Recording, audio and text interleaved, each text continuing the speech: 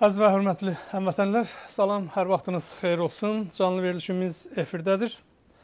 Təəssüflə bu günləri biz kimik verilişi olmayacaq, çünki Bakı studiyomuzdan ə, bizə təxminən verilişə yarım saat qalan ə, verilən xəbərə əsasən ə, Bakıda çoxlu qar yağdığından Sayın Firidun bəy eləyə bilməyib. Yəni evindən studiyumuza gəlsin, daha verilişdə iştirak etsin. Ona görə də Sadəcə istədik xəbəriniz olsun ki, biz kimik verilişi bu günləri olmayacaq. Ümid edirik ki, gələn həftə, yəni yenə də havalar yəqin münasib olar, şərait düzələr və verilişimiz efirdə olar. Bunu istədim bilginiz olsun. Eyni zamanda bundan öncə yadınızda olsa mən bir veriliş efirə vermişdim Michigan səfəri bir neçə dəyərli soydaşlarımızı və doktor Şapur bəy Ənsari, doktor Fərvər, eləcə də digər Türkiyədən olan soydaşlarımız iştirak etmişdilər o verilişdə. Çoxlu yəni məktublarımız var elə o gün veriliş efirdə olandan bu tərəfə münasib bir fürsət oldu. Bu günlərdə biz haman verilişi olduğu kimi, yəni tamamilə biz efirə verəcəyik təxminən bir 10-15 dəqiqədən sonra. Bunda bilginiz olsun. Və mən 10-15 dəqiqə ki, fürsət var. İstərdim ki, bir neçə məsələlərə toxunaq. O cümlədən bildiyiniz kimi bu günləri traktor və Abadanın nəft timi qarşılaşdılar.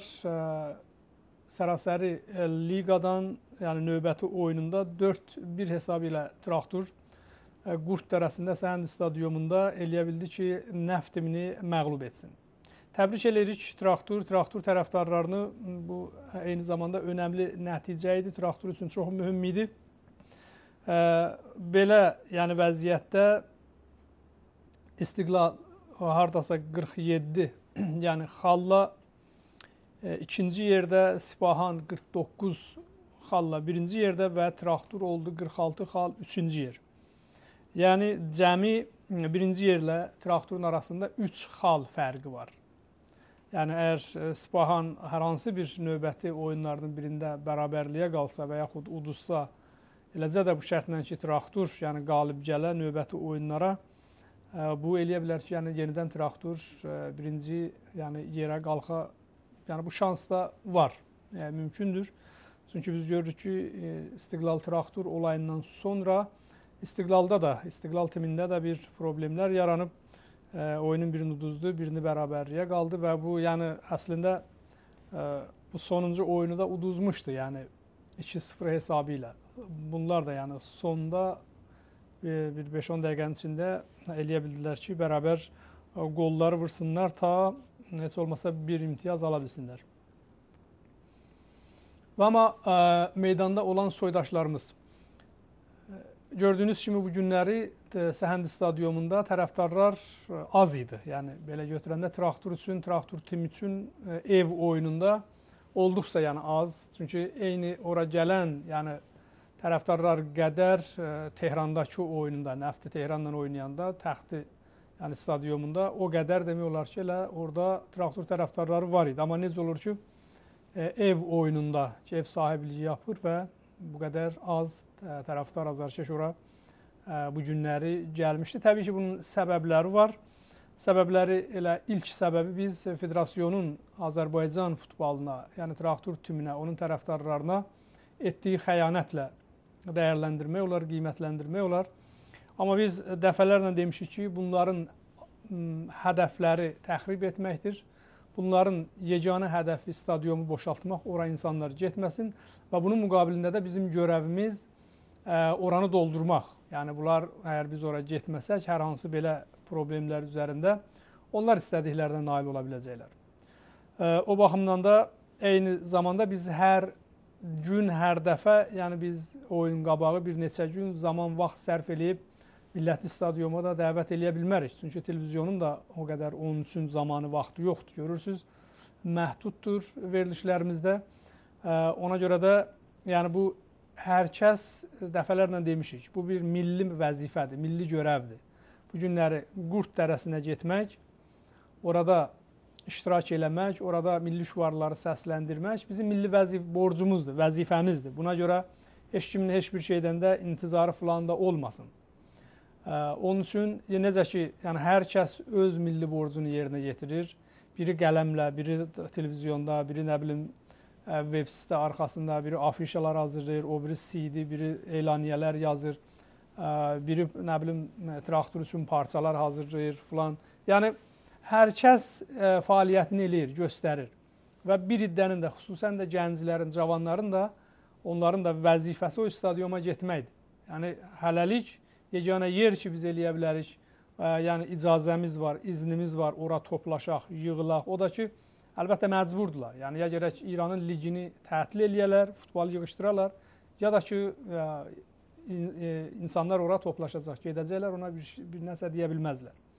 O baxımdan indi hər tək-təkimizin vəzifəsidir. Yəni oturub gözləməmək, gözləmək lazım deyil ki, nə vaxtsa Günas TV elan edəcək ki, bu vacibdir, bura getmək lazımdır və s. və yaxud ə, traktor tərəfdarları bəyanıyə verəcək, yazacaqlar ki, lütfən gəlin və, və ya traktor başqahı ardıcıl bəyanatlar verəcək, gəlmək lazımdır filan. Yəni bunu gözləmək lazımdır. Dediyimiz kimi bu bir milli borcudur. Yəni hər kəs bundan öz istifadəsini eləyir.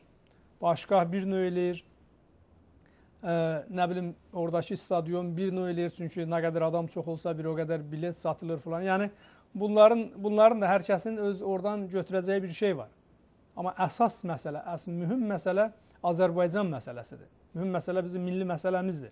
Millətimizdir və millətimizin səhnədə varlığıdır, vücududur. Bunun üçün də qətiyyən, yəni e, təmənnasız e, heç bir yəni təbliğatı filanı gözləmədən oyun varsa kimin imkanı var, yəni orada. Necə ki, istiqlalla olan oyunda hər kəs e, mağazasını bağladı, pasajlar bağlandı, bazarlar bağlandı, məktəblərə çoxu getmədi, danışqahlara getmədilər. Çünki elə bir e, zamana salmışdılar ki, həm həftə ortası, həm iş vaxtı, e, onun üçün də yəni ağır bir durumda, şəraitdə ora təxminən 80 min tərəfdar gəlmişdi ki, bu özü bir növ qışda, o qarlı havada falan da rekord idi təbii ki. Yəni bunları qoruyub saxlamaq üçün biz yəni istərdik ki, soydaşlarımız bunu nəzərə alsın. Təkcə yəni federasiyon futbolunun siyasəti nəticəsində hər hansı bir yəni problemlərin yaranmasından dolayı yox, öz istəyimiz əsasında, yəni öz milli məsələmizə görə o stadionlara biz getməliyik. Hər halda bir daha təbrik edirik traktoru və onda mən əlavə edim ki, ə, tərəfdarların yəni meydanda az olmasının digər cəhəti də var. Bu yəni təcrübə göstərir. Nə qədər traktor azarkeşləri meydanda az olursa, ə, bir o qədər traktor nəticə alır. Yəni bunu biz ə, görünür, yəni orada ə, 80 min, 100 min insanların vücudu, o şuarlar, o səslər, o təşviqlər özümüzünkinə yəni görünür stres verir. Özümüzünkilər bir qədər yəni mənfi həyəcan yaradır oyunçularımızda yəni. Ə, amma olmayanda görürük ki, hər zaman həmişə nə qədər məhrum olanda da, az adam olanda da ə, ki, bu günlərdə yəni o qədər də adam yox idi. Ə, yəni tərəfdardan söhbət gedir. Ə, gördük ki, yaxşı bir nəticə aldılar. Yəni bu da var. Bu tərəfi də var. Çox qəribədir. Yəni sanıram ki, ə, bu məsələnin ciddi yəni bir təhlilə ehtiyacı var ki, nədən yəni oyunçu tərəfdarların qarşısında traktor oynaya bilmir. Əlbəttə görünür, yəni daha çox məsuliyyət hiss eləyirlər, ehtiyat davranırlar ki, qarşılarına məqsəd qoyurlar ki, yəni bu Azər bu qədər tərəfdarların qabağında üzü qara qalmasınlar filan. Belə məsələ olanda da hər bir işdə insan yəni rahat ola bilməz. Əl qolu açıq açıq olmur. İnsan o zaman hər bir şeydə müvəffəqdir ki, bir qədər risk eləsin. Yəni risk olan yerdə yaxşı nəticə də var, amma hər halda məğlubiyyət də var.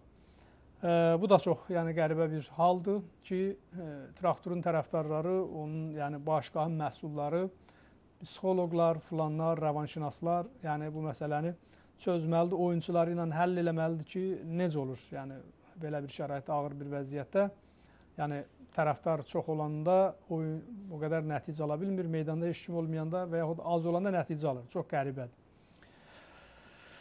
Və mən ə, e, növbəti, yəni toxunacağım məsələ isə ə, e, Suriya məsələsidir. Qısa bu vaxtda da bir neçə kəlmə deyib və ə, e, verilişi sizə təqdim edəcəyik Mişiqan səfərinin. Ə, bildiyiniz kimi Rusiyanın Xarici İşlər naziri yəni Suriya səfər etdi. Onun Cumhurbaşqanı Bəşar Əsədlə görüşdü. görüş qapalı olsa da, amma təxmini olaraq mətbuata qısa bilgi veriblər, məlumat veriblər və Larovun son bəyanatında da bildirilib ki, tezliklə, yəni Suriyədə dövlət səviyyəsində referendum keçiriləcək. Yəni islahat referendumu, anayasada, qanun əsasında təğyirat verəcəklər, dəyişikliklər verəcəklər. Əlbəttə bu məsələ heç bir yəni problemi çözməyəcək, həll etməyəcək. Çünki bu köhnə bir ideyadır, fikirdir. 7-8 ay bundan qabaq Bəşar Əsəd bu haqda söz verdi, amma heç birinə də əməl etmədi və bu günlərdə müxalifə, müxaliflərdən Rusiyanın Xarici İşlər Nazirinin bəyanatına reaksiyalar gəldi. Onlar bildirdilər ki, o zaman ki, yəni bu sözü verdi ki, buna əməl edəcək, əvəzinə topla, topla tankla millətə hücum elədi, çoxlu insanlar həlak etdi Bəşar Əsəd. Onun üçün də biz belə bir bəyanatlara inanmırıq və mübarizə davam edəcək. Rusiya, yəni Xarici İşlər Nazirliyinin bir tərəfdən belə bir bəyanatı, başqa bir tərəfdən isə Amerika ümumiyyətlə səfirliyini Rusiyadan geri çağırdı, yəni ümumilikdə təliq etdi, dayandırdı. Oradakı səfirlik fəaliyyətini İngilistan, Fransa və bəzi ölkələr çağırıblar, hələlik müşavirə aparırlar öz səfirləri ilə ki, qayıtsınlar, qayıtmasınlar və 7-8 ərəb ölkələrdə onlar da tamamilə öz səfirliklərini xaric elədi. Yəni bu görünür ki, beynəlxalq aləmdə Rusiya ciddi təpkilər var. Yəni Rusiyanın bu siyasətinə əslində Rusiyanın bu ə, apardığı yanlış siyasət ki var, ona etirazdır. Çünki Rusiya və Çinin veto qoyması ə, ki, Birləşmiş Millətlər Təşkilatının Təhlükəsizlik Şurasında ə, müzakirələr zamanı ə, Rusiya və Çinin vetosu maraqlı bir ə, situasiya meydana gətirdi. Vaxtilə bir çox ərəb ölkələrinin Rusiya dövlətinə olan sempatiyası tamamilə əks, yəni nəticə verdi. Demək olar ki, bir zamanlar bir çox ərəb ölkələri Amerikaya qarşıydılar, Rusiyanın yanındaydılar, amma indi tamamilə demək olar ki, ərəb ölkələri hamısı Rusiyadan imtina edib və Amerika ilə bərabərdirlər. Amerika Avropa dostluğu başlayıb sıx, yəni yaxınlıq. Əlbəttə öncədən də bir neçə ölkələr var idi, amma yəni belə bir vəziyyətdə, belə bir şəraitdə deyirdi. Bəlkə də rusların heç bir belə intizarı yox idi ki, birdən-birə bir neçə ayın içində yəni val belə dönsün. Yəni 180 dərəcə bu çox mühümdür və Rusiyanın belini qıra bilər. Yəni bu tipli yanaşmalar. Yəni Rusiya nə qədər hərbi baxımdan, nə bilim texnika baxımından filan güclü olsa da, hər halda Amerika, Asiya, nə bilim Avropa filan bunların qarşısında elə bir güc sayıla bilməz. O baxımdan Rusiya yəqin ki bilir get-gedə öz imicini Avropada və həmçinin ərəb ölkələri arasında itirməkdədir. Ona görə də indi yəqin ki yəni bunların öz siyasətlərində hər halda bir dəyişiklik vermək məcburiyyətindədirlər. Bu günləri İngilistanın aparıcı mətbuatlarında da elə indidən yazıblar ki, Rusiyanın Cumhurbaşqanı Vladimir Putin, halbuki hələlik baş nazirdir, Cumhurbaşqanı olmayıb, amma bir növ, yəni ironiya ilə yanaşmadır, bu məsxərə ilə yanaşmadır Rusiya və ki, Rusiyanın Cumhurbaşqanı təhdid edib ki, hər hansı bir müdaxilə Suriyə yol verilməzdi və biz ciddi bu ölkələrdən davranacağıq və s. Yəni bu hər zaman həmişə təbii ki bunlar olub, buna söz yox. Yəni bir sözlə Suriyadakı yəni Rusiyanın Xarici İşlər Nazirliyinin açıqlamasından sonra ki biz qərara gəldik ki, yəni söz verdi ki, Bəşar Əsəd referendum qanun əsası üzərində başlanacaq Amma elə bu bəyanatdan sonra Homs şəhərinə yenə də hava ilə və yerdən tanklarla, toplarla atəşlər açılıb. 60-dan çox, yəni təkcə elə bu günlər həlak olan var ki, digər tərəfdən isə təbii ki, müxaliflər silahlıdırlar. Müxaliflər get-gedə, yəni modern silahlar əldə edirlər və öz mübarizələrini davam edə, edəcəklərini bəyan ediblər. Bu da məsələnin digər tərəfidir və Belə küllü yəni nəticə gəldikdə demək olar ki, Rusiyada daxili savaş başlayıb.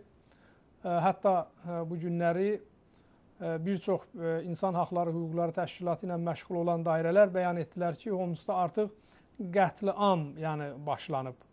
Yəni bu bir e, hardasa bir siyasətdir ki, insanları orada yaşayan insanları yer üzündən silmək, genosid desək, bəlkə də belə yanaşırlar məsələyə ki, bu özü də bəraət verir ki, yəni bir çox ölkələrə bəraət qazandırır ki, Suriya məsələsində ciddi müdaxilələr etsinlər. Hətta UN-dən kənarda bunu eləyə bilərlər. Bir neçə ölkələr, yəni müttəhid olsa, yığılsa, qərar versələr, ki, orada insan haqları, hüquqları, insan qətli am olur və bunu eləyə bilərlər, reaksiya göstərsinlər. Bu məsələnin, yəni Rusiya vətçinin Suriya ilə bağlı qoyduğu vetonun başqa bir tərəfi də bu idi ki, indiyə qədər heç vaxt, heç zaman istər ərəb ölkələri tərəfindən, istər Avropa tərəfindən, istər Amerika və Kanada ölkələri tərəfindən Rusiya üzərinə bu qədər sərt getməmişdilər. Yəni o qədər sərt, yəni buna görə Rusiya yanaşdılar ki, hətta təhqir edici ifadələr işlətdilər e, bu ölkənin e, məhsullarının, rəsmilərinin ünvanına.